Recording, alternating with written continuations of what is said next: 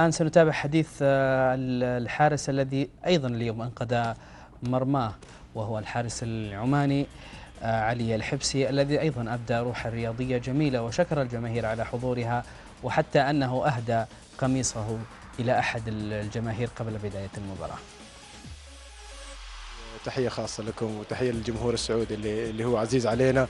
وأحب أقدم كل الشكر والتحية على يعني آه، الاستقبال الأجمل من رائع من من الجمهور السعودي خصوصا خارج الملعب وفي الملعب.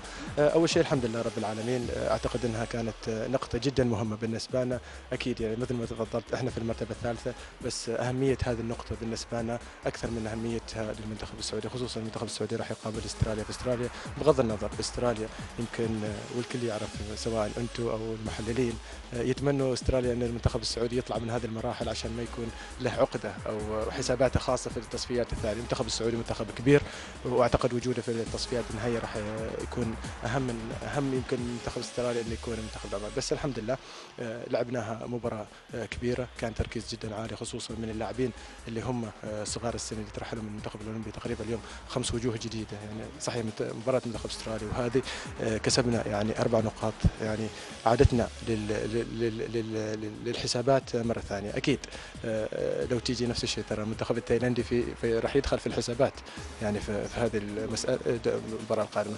بس من هذا كله ال- الأهمية إن راح نلعب بين أرضنا وجمهوره وهذا يمكن البطاقة الأهم من هذا كابتن ما كان يردد قبل هذه المباراة هو التركيز على غياب كانوا حديد.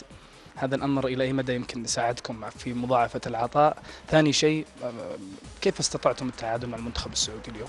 والله شوف آه، يمكن غياب أحمد آه، حديد وكانوا أعتقد أكيد يعني آه، غيابات جدا مهمة بالفريق. بس مثل ما تفضلت وقلت لك إن ال- الأهم من هذا كله إن الوجوه الجديدة الشابه اللي اللي دخلت من المنتخب الأولمبي خصوصا يمكن علي الجابري اليوم أول مباراة يلعبها مع المنتخب الأول وقدم مباراة جدا كبيرة. أعتقد غطى ال- ال- ال- ال- ال- المسؤولية كانوا في ال- في الفريق. وهذا وهذا الحاجة المهمة بالنسبة لنا وهذا المكسب الكبير أعتقد منتخب عمان. إن في, يمكن الجمهور العماني والصحافة في المباريات الثلاثه الأولى ضغطت علينا كثير وكنا تحت ضغط كبير كبير خصوصا إنك تعادلنا المنتخب السعودي وخسارة متتالية مع تايلاند ومع أستراليا. آه، بس المدرب أعتقد تعامل بطريقة جدا مميزة ويعني له له credit خاص. كخبرة آه، استطعت صد كرة ناصر الشمراني ربما كانت الأبرز في المباراة ربما كانت ستمنح المنتخب السعودي هدف.